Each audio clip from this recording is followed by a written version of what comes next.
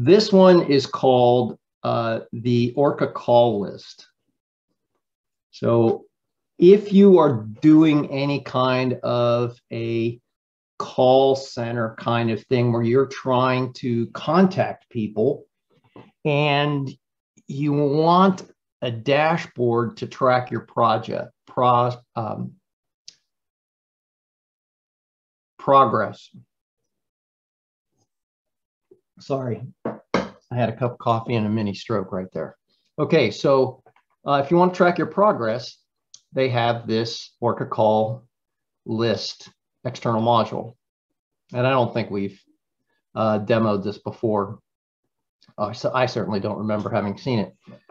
So um, if you go to your external modules, you know, we tell you this all the time. And since we only have couple people here that, and both of you know how to enable a module, you enable the module, and you find this Orca call list module.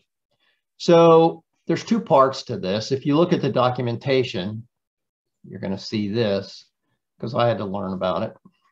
And, and, it looks like kind of a lot, but actually it's it's not a lot. And I'll show you uh, why. And, and, I'm not sure that I really um, am doing it complete justice, uh, but I can at least get you started um, with how it works.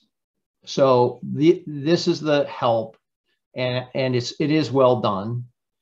And that's the documentation. And then you configure it. So the configuration, um, you know, I wasn't really sure about. I think that the most important thing is you need a variable called call underscore date for this to work. I'll come back to this a couple times and, and we'll take a look at it, but you need that call date in a field. So I created this really, really basic form called contact information. So we take a look at it, I see there's only three fields. So here is my call date. Now, the requirement is that the call date must be month, day, year, date, time. So it can't be a date. It's got to be a date and time because this module is going to show you uh, all of these dates and times and, you know, because it's representing when you've called. Um, so I pre-populated it with now uh, action tag, you know, maybe not necessary there, just trying to help myself out in testing. So I've got the call date on here. So then I just had two fields originally. I had the call date and the comments. And I tested it and I, I could see how it would work, but I didn't quite grasp the concept of these color codes. So I played around with a little more, and the color codes um, light up when you have when you define a field uh, that has choices. So I mean, I didn't know what to put in here, but I put you know three things uh, representing the contact result. Okay, what, once I did that, if I come back to my external modules and go into the call list and configure it, then um, I uh, I really don't need to do anything else but decide how many uh, number of entries I want to show. I'll show you that in a minute. And then what fields I want to display. So first I just put first name on there because I didn't know the value of this. But anyway, this is like one of those external modules. Once you create it, it shows up on the left under external modules. So it runs sort of externally. You don't have to worry about getting into the record status dashboard or seeing just one record or whatever. And when you call this up, you get something that looks like this. I just said in my external module configuration, remember, I just said, it's coming. Okay, so I, again, just said, show me the first name here, variable, and then I added the gender after that. So when I open the call list now and I take a look, I see the first name of all the records and the gender. Then over here are contact attempts. So I'll show you that I've made three contact attempts for this record here. And when I, I can open that record right here, uh, which I'll show you, but up on the top, it shows you the um, key for the, what it, the colors that it's gonna show you. So it's gonna show you the color for the last entry that you enter. So I'll enter something into some of these others, and then you can see.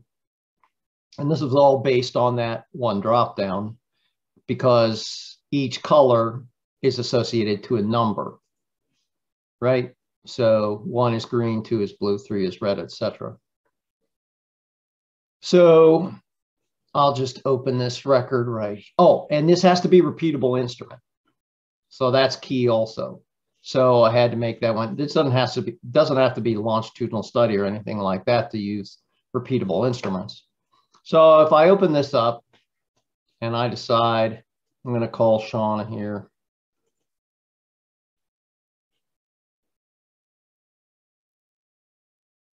And I'm going to call her right now. And the result was she was not home.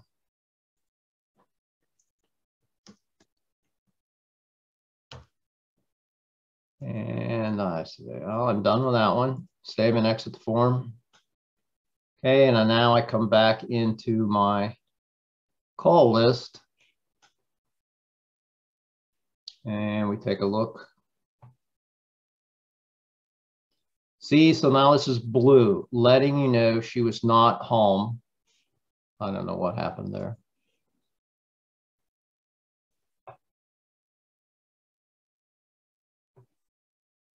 Blue letting you know that she's not home.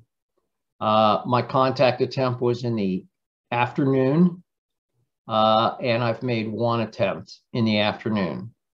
So if I wanted to uh, call in the morning. I could try that. You could see the result. But if I call again, open up this record and add a new contact information uh, record, you know, it's auto-populating again. This time I say uh, my attempt failed. And I say complete. Save and exit the form. Okay, you're not going to see anything here, but you know, I did set it up to show the timestamps on these things. So I go to my Orca call list and instead of not home, it's now showing that the last call was failed. So this will always update with the color and you can have up to uh, this many colors, six colors, and as it says here, you can add more options, uh, but the colors uh, won't be available for those additional options that you use in your checkbox. Um, so if you, one of the places, you know, we're, we have some new studies that we're working on right now that are, are fairly large. Actually, they're very large. And one of them in particular is looking for uh, an attempt to try to uh, make contacts with individuals, but keep a balance um, in certain variables. So maybe uh, an equal number of males and females and an equal number of age group and an equal number of this and that. So um, you can set those variables up and then uh, you can uh, do some sorting and say, you know, I want to call female. Um, and, you know, here's the first one. And you, you only want someone, uh, you don't want someone who is a successful call. So successful is this reddish color. So if I uh, ask for not home or failed, then I get this and the success is, you know, weaned out. Um, but anyway, I can show these things and then I can make a call and I can just open the record from here. So I think that's really all to show you about this. Um, and as I said, you can decide how many records you want to show at once. You can use the previous and next option to move through uh, the, if you have only showing 10, then you can show the next 10 using the previous and next option. You can also use the search button if you're looking for something in particular. All right. Uh, any questions about that? All right, this is kind of a, a neat thing. This sort of uh, piggybacks on the Orca search option that is used um, by a lot of projects. So if there are no other questions, we're going to have a short day here. Uh, we have a lot of projects going on, so I'm going to get back to it and let you have the rest of your day back. Thanks for joining us. I really appreciate that uh, you made the effort to take a look at what we have for you. Hopefully these are helpful. Um, try to present something that can be useful for you in your day-to-day -day projects and keep things easy. So I look forward to seeing you back next week. Have a nice weekend, and I'll see you then.